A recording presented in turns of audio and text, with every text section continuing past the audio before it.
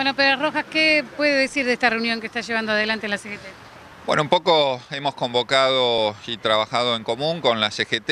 en el análisis del informe de empleo y desempleo que emitió el INDEC la semana pasada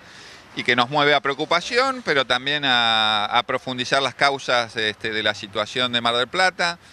Por un lado estamos haciendo un diagnóstico con toda su comisión directiva, con los referentes sindicales, referido a la situación de empleo de cada una de las actividades económicas. Y por otro lado también hemos este, realizado acciones con el Gobierno Nacional, este, con los responsables nuevos en Economía y en el INDEC para realizar una reunión con ellos para analizar este, eh, la muestra que han tomado y también manifestarles nuestra preocupación referido a la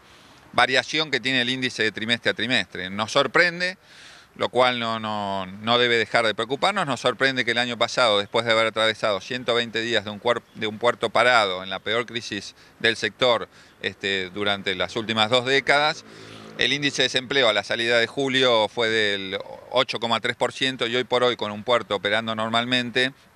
estamos en un 11%. Por eso queremos analizar las causas, no queremos este, cegarnos los ojos, pero sí queremos profundizar en este análisis y para ello vamos a trabajar en conjunto con diversos sectores. Hoy nos hemos juntado con la CGT, con toda su conducción máxima, vamos a juntarnos también con las cámaras empresariales y también con el INDEC